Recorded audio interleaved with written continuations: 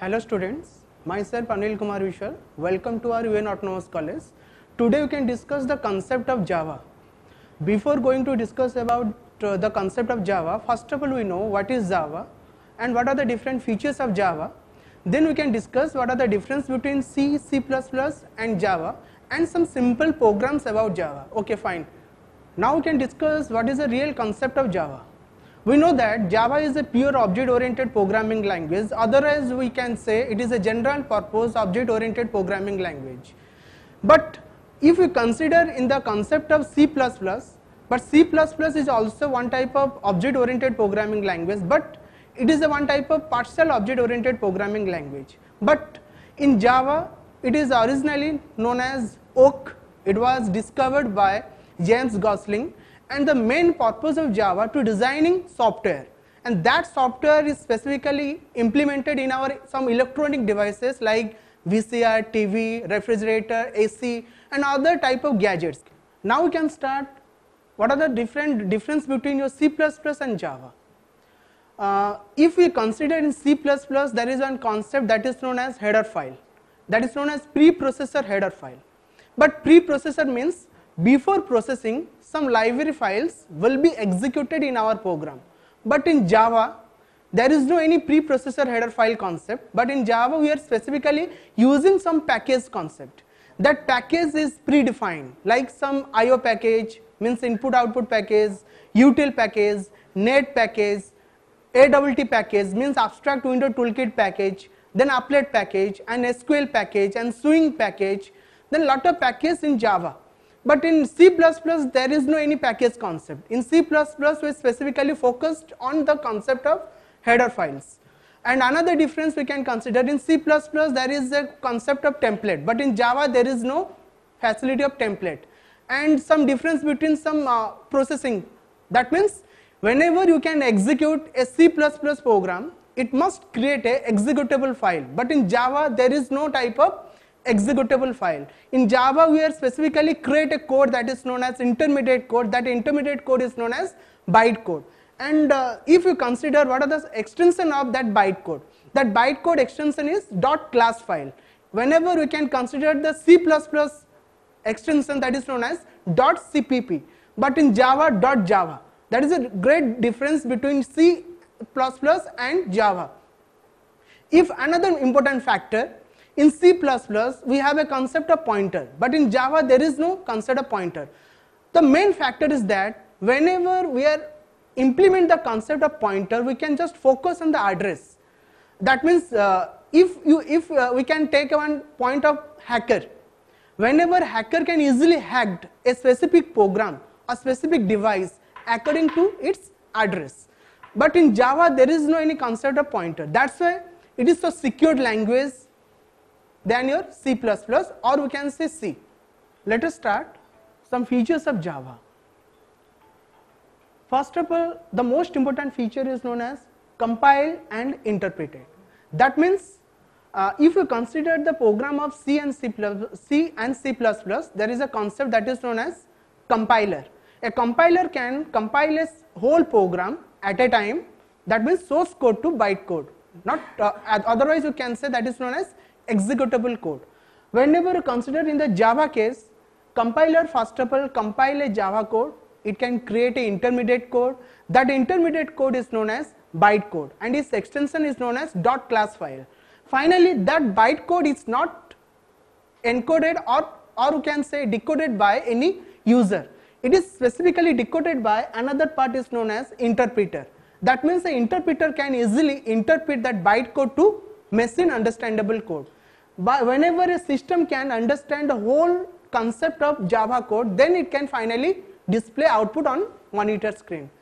Second feature is known as platform independent that means uh, in C and C++ a specifically platform dependent programming language that means whenever you can design a program in the concept of C and C++ that means it is specifically uh, fully dependent on operating system and its resources like uh, that means whenever you can upgrade the uh, operating system versions or any hardware systems then it is so difficult to compile it or execute it but in java it can support a most important features that is known as platform independent. That means in Java codes, we can execute all parts of program without any dependence of systems like operating systems or any resources. And that's why it is also known as uh, architecture neutrality in Java. And next most important features in platform independent that is known as bytecode formation. That means whenever you can create a bytecode, that means due to the presence of bytecode, it is purely platform independent. That means whenever a user can take that bytecode from one system to another system, it can easily compile, easily interpret, easily execute its result on your system. Now we can discuss the feature of object oriented. In that feature we can cover whole uh, features of object oriented like class, object, polymorphism, encapsulation, data abstraction, message passing and etc.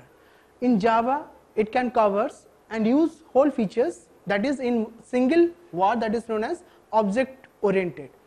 In Java it can accept whole features of C++ in the base of object oriented. In third feature, in fourth feature we can discuss the concept of distributed.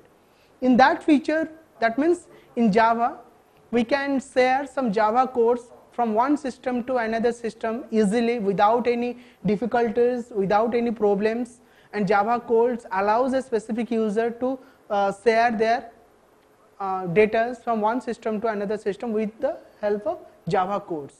Next feature we can say that is known as robust and secure.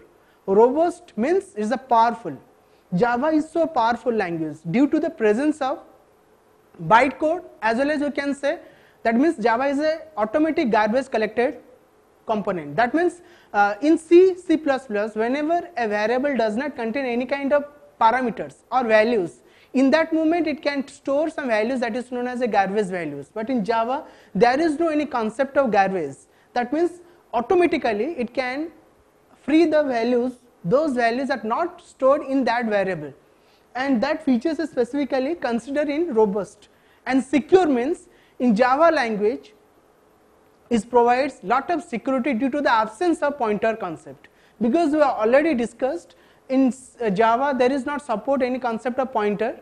Due to that absence of pointer we can easily secure all varieties of codes in java. Next feature we can say simple small and familiar. That means Java is so simple as well as you can say small and also familiar because uh, just we can think about some hierarchical of programming development family. First of all a user or any student must learn what is the concept of C then we can learn the increment version of C that is known as C++. Whenever user can comfort in C++ that means automatically can update its version that is known as Java. Similarly due to the, that hierarchical way of development in knowledge, it can simple in, in case of your Java programming language. And another part is known as small because uh, some features in C and C++ are not supported in Java. That means those features are, are not considered, that means just we can say in C, C++ some features are unnecessary used in that programming language, but in Java it's not accept that unnecessary features in Java programming concept. That's why it is known as small. Just we can consider is a go to statement and another const and some features like that it is not acceptable in Java programming language. And the last part is known as a familiar because whenever a user any type of programmers can be develop their knowledge in that programming concept. First of all, uh, he or she can learn the concept of C, C++, then Java. That's why it is known as familiar in Java case. Next feature is known as multi-threaded and interactive. In that feature, uh, Java supports a multi-threading approach. That means we know that in, in our operating system already we discussed the concept of threadings. Thread means a single process, a small or you can say lightweight process is known as a thread. Whenever more than one lighted, lightweight processes are executed simultaneously, that is known as multi-threading concept. Similarly, it is more interactive because why? Is a great factor in Java like that. Uh, just we can consider example of MS Word.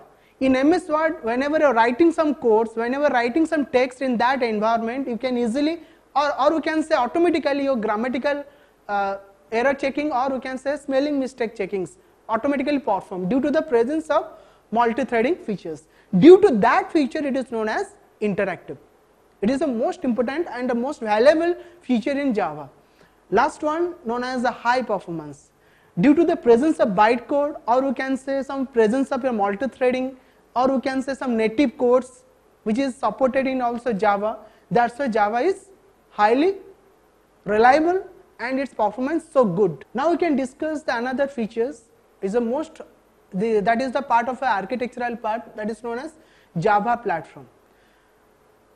There's the most important factor is like that whenever a Java code is compiled it can create a bytecode that bytecode again interpreted it can forms a machine understandable understandable code. That formation is specifically depends on a specific engine that engine is known as JVM engine that is known as Java virtual machine. In that Java virtual machine we can easily compile a whole Java code to form a bytecode again that bytecode is interpreted then it can create a machine understandable code.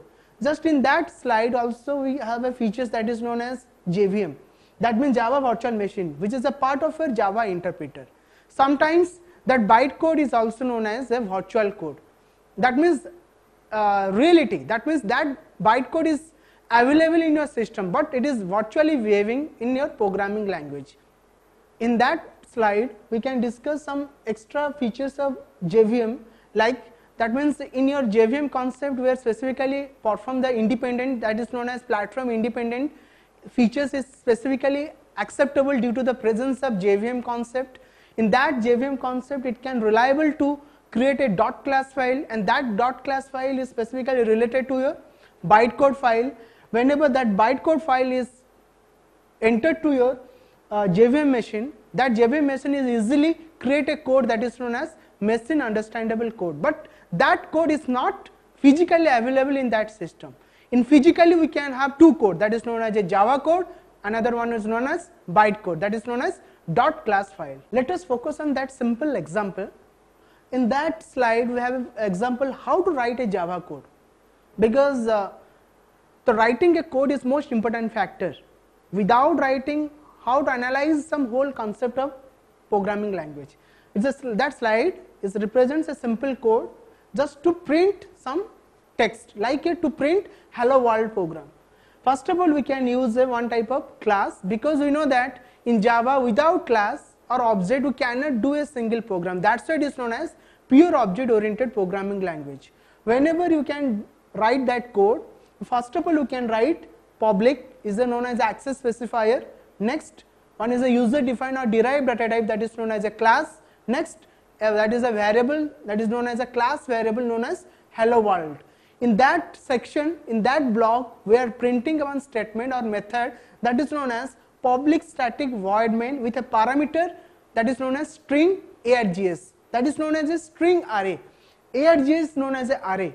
And that string is a class. Every predefined class first character is represented as capital letter and here is a public public means it can access outside of a program static means whenever you can make a method static that method can be invoked without using any type of object. That means that method can be invoked with the help of class name. That's why that program must be saved with a class name that is known as hello world.java. Whenever you can compile it, you can write java c space hello world.java. Then you can need to create a bytecode. In that bytecode need to interpret. That means we can write java space hello world. That means hello world is known as a bytecode format which is represented in dot class file.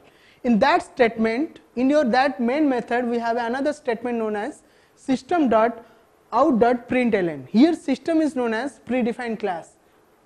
That means every predefined class first character should be written as capital. Next dot operator we are using. Next out out is known as an object.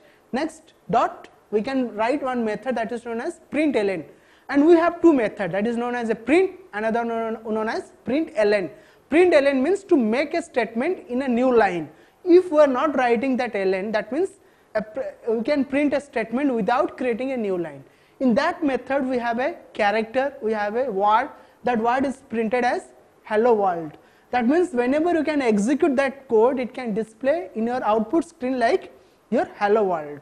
Just we can display here that is known as hello world. It is the output section. And this two part is known as the way of execution in a DOS prompt. That means whenever you execute that Java code, first of all you can write Java C space hello world.java.